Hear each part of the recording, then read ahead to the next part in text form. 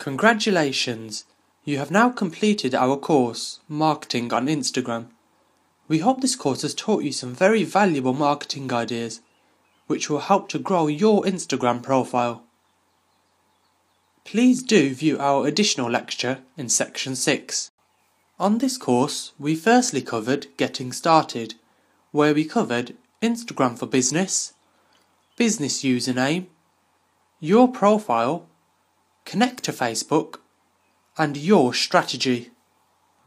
We then covered Increase Your Followers, where we covered the following Update hashtags, Brand hashtags, General hashtags, Trending hashtags, Engage on hashtags, Monitor hashtags, Make your followers famous, Embed followers' images, Like followers' images, Comment on followers' images, Respond to comments, Mention your customers, Mention notable people, Engage your customers, Creative photos, Create videos, Post photos and videos, How are your products used, Show your products creatively, Your brand story, Behind the scenes, The CEO, Exclusive content, Live product launch, Build momentum,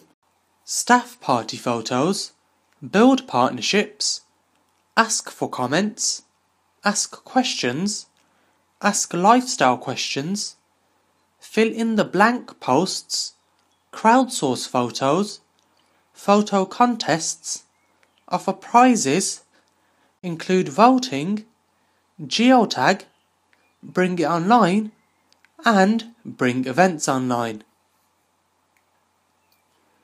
Then in the final section, we covered maximize your return on investment, where we covered post regularly, post frequency, perfect timing, monitoring the results, improve, improve, and improve, and finally we covered know the trends.